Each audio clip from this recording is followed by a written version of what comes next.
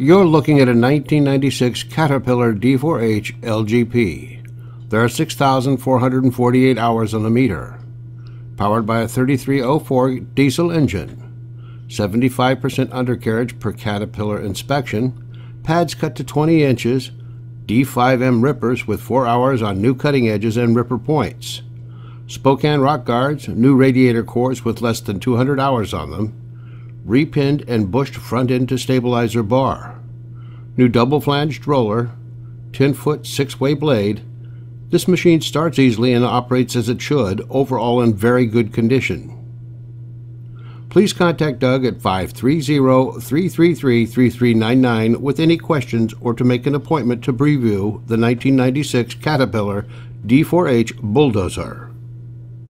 Liquidity Services provides buyers and sellers with the world's most transparent and innovative online marketplaces for surplus assets. We add new inventory weekly with merchandise from government agencies, corporate clients, and commercial businesses.